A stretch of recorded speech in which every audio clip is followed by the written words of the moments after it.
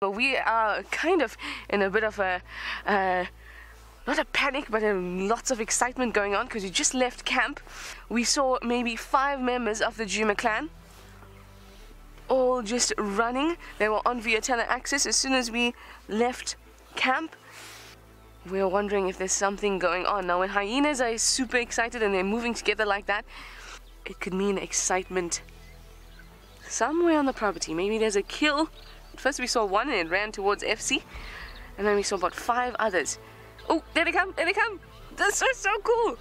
So this is what I watched just as soon as I left camp. This is exciting!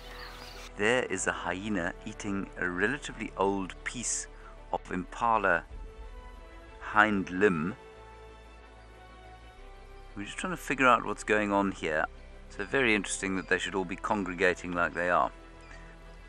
They've heard something.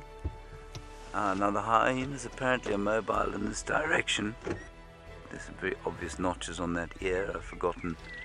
Is that not ribbon? I think that's ribbon, yeah. So that's most likely the new matriarch of the clan. Oh my goodness! The hyenas have just got a duiker, a little duiker. Woo! Right, let's go have a look. Whew. That was intense. Okay, there we've got the jackal and the hyena still there.